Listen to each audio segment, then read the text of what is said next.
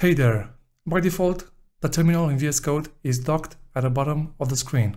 In this step-by-step -step tutorial, I'll show you how you can easily move it to the other side of the screen. Let's get started.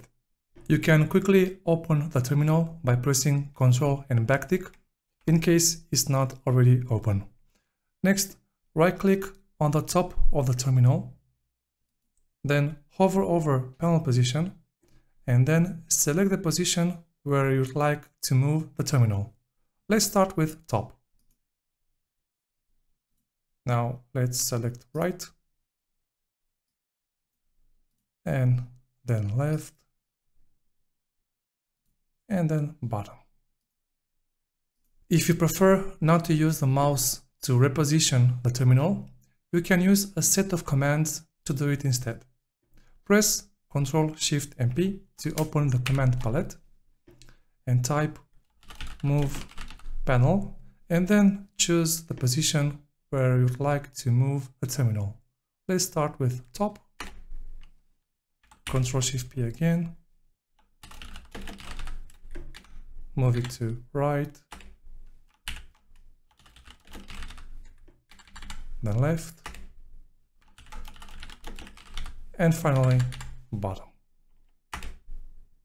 We are not done yet, there's an even quicker way to do this.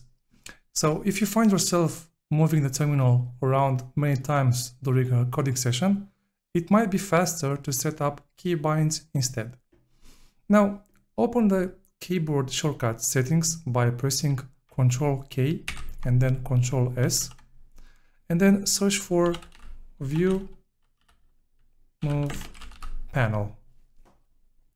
Then add keybinds for these um, commands and assign your preferred shortcuts. I'm gonna go with Control Alt and 1 for top, press enter, um, Control Alt and 2 for right, Control Alt and um, 3 for bottom, sorry, this is the left one. Control Alt 3 for bottom and Control Alt 4 for left. I want them to be in clockwise order. Now I'm going to press Control Alt and 1. Now Control Alt and 2. Control Alt and 3 and finally, I want to move it to the left side and I'm gonna press Ctrl Alt and 4. Alright, that was it. Now you know three ways to move the terminal to any of the four positions. Top, right, bottom and left. If you enjoyed this video, consider checking out my VS Code playlist for more tutorials. Wishing you a wonderful day and I look forward to catching you in the next one.